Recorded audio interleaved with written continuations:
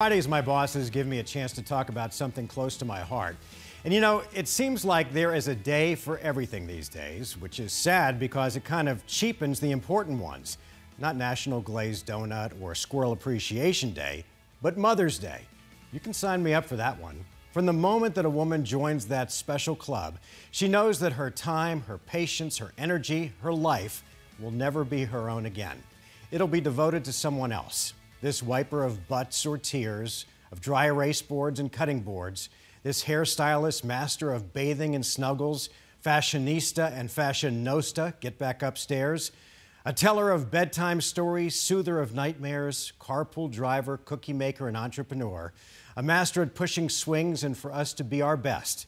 She was known for that special note she left in the lunch bag, for being the giver of, of, advice on boyfriends and girlfriends and crushes and heartbreaks and all matters of the heart, a walker of dogs, flusher of fish, and the greatest dance teacher ever. And at some point, when the kids are old enough, she gets a little time back to herself. But then she's sad because the one thing that she wanted, more time, more personal space, that yoga class that she could never get to, is now available.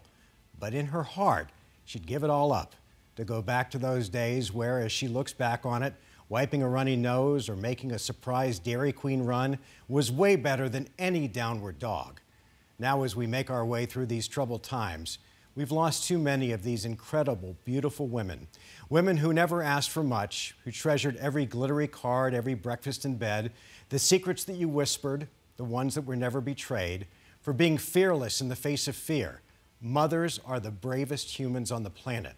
So, to all the moms who are with us and the ones who aren't, thank you.